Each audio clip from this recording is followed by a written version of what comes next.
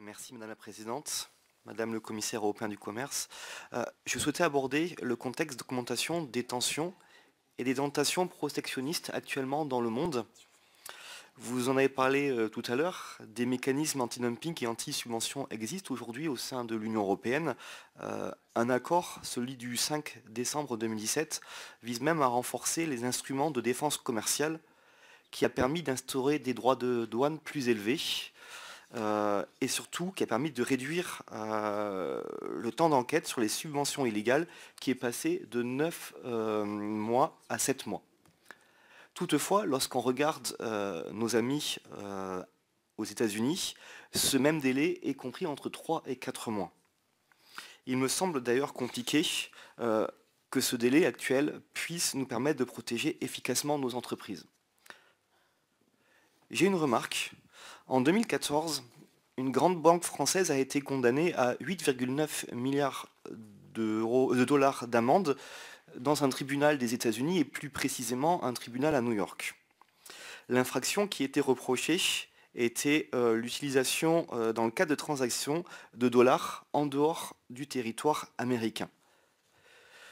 Le 6 euh, juin 2016, un article de RFI Reuters présentait l'utilisation partielle de cet argent-là.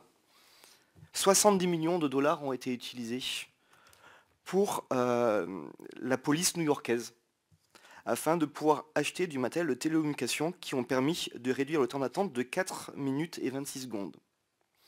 450 millions de dollars ont aussi été utilisés pour le, ministre, euh, le ministère de la Justice de New York, soit 5 fois leur budget annuel afin d'agrandir ses bureaux et d'acheter du matériel neuf pour ses enquêteurs. Comment mettre en œuvre une politique économique européenne qui protège efficacement nos entreprises et par là nos emplois nos services publics et notre modèle social par la mise en place d'une politique rapide, efficiente et basée surtout, ce qui est le plus important pour moi, sur la, réciprocité?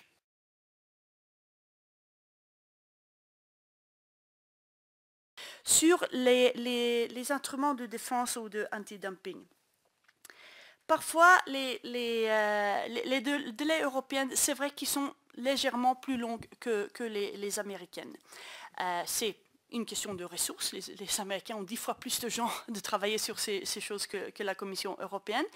Mais il faut aussi euh, avouer que, les, demandes euh, de les faire d'une façon très très euh, élaborée, haute qualité, la, discussion avec l'industrie et tout ça, ça, prend du temps de faire des, investigations de haute qualité. nous pouvons aussi implémenter ou mettre en mesure des, tarifs intermédiaires, enfin euh, euh, provisionnels, euh, en, attendant les, investigations finales. Les conséquences ont eu que, par exemple, vis-à-vis la Chine, dans certains produits d'acier, nous avons diminué l'importation chinoise avec 98% et demi ces, ces, dernières années, parce qu'ils sont efficaces. Et ils sont aussi efficaces que, les Américains, même s'ils mettent les, euh, tarifs de 500% et nous seulement de, de 36%, l'efficacité est la même. Parce que l'objectif, c'est de diminuer ou de stopper totalement l'importation d'un certain produit et nous sommes aussi efficaces que, les Américains. Que faut-il faire pour protéger notre modèle social? Ben, C'est une question bien qui mérite une, séminaire euh, en soi, mais je pense que, les impôts, les systèmes euh, sociaux, la réduction des injustices sociaux, la, lutte contre le, euh, le, manque d'emploi, c'est la, plus grande injustice en Europe en, ce moment.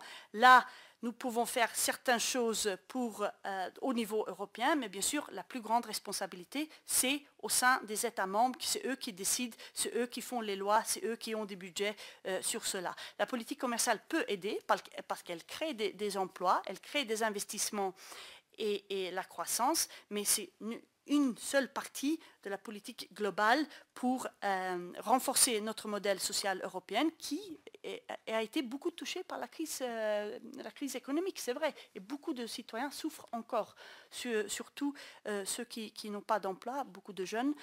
mais, les injustices qui, ont, même si les, chiffres sont dans la bonne voie dans tous les États membres en ce moment, c'est une bonne chose, mais il y a beaucoup d'injustices internes dans, les États membres. Bien sûr, c'est un défi énorme.